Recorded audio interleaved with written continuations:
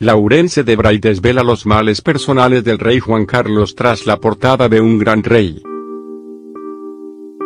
Rafael Spotorno se ha coronado de gloria, sus palabras son muy fuertes y van a dividir a la opinión pública. El diplomático, que sigue manteniendo contacto con el emérito, fue uno de los asistentes a la presentación en Madrid de Mi Rey Caído. Este es el ensayo con el que Laurence de Bray repasa la vida de don Juan Carlos. Y sus palabras han dejado más huella que el propio ensayo, sorprendiendo a todos con su manera de expresarse. La mano derecha de don Juan Carlos lo exime de culpa. Ex jefe de la casa de SM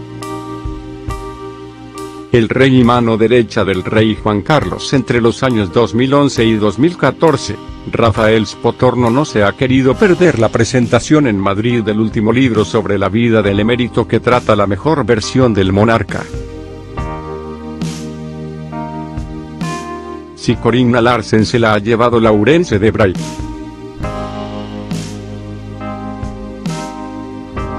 Muy cercano al padre de Felipe V con quien sigue tiene un contacto habitual. El diplomático, muy discreto y sin desvelar cómo se encuentra el monarca o cuándo cree que regresará a España, ha salido en su defensa. Ensalzando que ha sido un grandísimo rey y señalando que no se está haciendo justos con él. Hasta ahí todo bien, pero sus palabras de después, le hacen flaco favor. ¿Quieres saber qué ha dicho y qué dice?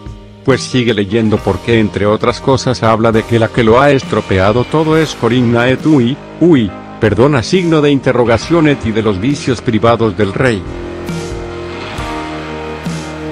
La verdad es que muy fuerte pero queremos que juzgues y te posiciones tú. ¿A favor o en contra? Spotorno sobre los vicios privados del rey Juan Carlos, creo que los vicios privados no deben ocultar las virtudes públicas. Spotorno no puede guardar más fidelidad hacia el emérito, algo de lo que el que vive en Abu Dhabi tiene que agradecer eternamente. Son muchos los que piensan que el primer monarca la era democrática de España, ha realizado un gran labor, algo que sin duda es incuestionable, hasta que, comienzan a salir sus debilidades como hombre. Mujeres, whisky y dinero Ed disfrutaba de una gran inviolabilidad, hasta que fue casado en Botsuana. Ha sido el trofeo de casa más expuesto. Si los trofeos de este calibre se exhiben en salones y palacios, este ha sido exhibido a nivel internacional. La dulce alemana pasará a la historia como la mismísima Mata Y lo peor es que la película no ha terminado. Con una película, o mejor dicho, con una docuserie va a por su mayor touche. Ni el libro de la francesa a favor del padre de don Felipe va a poder, con el tsunami Corinna. Para Spotorno, la justicia ha tratado mal al marido de doña Sofía, Depende de lo que se entienda por justicia. Yo creo que no. Creo que los vicios privados no deben ocultar las virtudes públicas. Y el rey don Juan Carlos está lleno de virtudes públicas sostiene toda la razón, pero también se puede decir que vicios privados. Pero a día de hoy, el emérito está mirado por aceptación de presuntas comisiones, tarjetas black, por sus conquistas y continuas infidelidades a su esposa. Arremete contra Corinna Larsen, fue la que al final lo estropeó todo. Admitiendo que tiene muchas ganas de que don Juan Carlos pueda volver a nuestro país después de casi dos años exiliado en Abu Dhabi, Spotorno tampoco ha dudado en mostrar su acuerdo con Laurence de Bray al afirmar que el emérito se equivocó a la hora de escoger a Corinna Larsen como su amiga entrañable, y, con gran sentido del humor, ha citado una frase que los franceses suelen repetir. Confesando que la alemana fue la que al final lo estropea todo. El rey tenía amigas españolas pero según cuentan los rumores de la villa, dejó de verse tanto españolas por si un día se iban de la lengua. Se cogía un avión para verse con otras mujeres que extranjeras, cuenta la rumorología. Pues sea como fuere, las españolas han estado bien calladas y ha sido una alemana, la que ha hablado. Pero, ¿quién tiene el cargo? De los dos, ¿cuál estaba y sigue casado?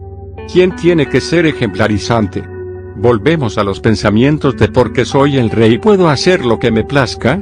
¿Se puede responsabilizar a Corinna de todo el mal para la figura del monarca y de la monarquía? Pero, ¿quién tiene el cargo? De los dos, ¿cuál estaba y sigue casado? ¿Quién tiene que ser ejemplarizante? Volvemos a los pensamientos de porque soy el rey puedo hacer lo que me plazca. ¿Se puede responsabilizar a Corinna de todo el mal para la figura del monarca y de la monarquía? En pleno siglo XXI seguimos con la idea de que una mujer se carga un estado o la estabilidad de un país porque un tío se ha enamorado de ella. Han pasado unos cuantos siglos desde Elena de Troya.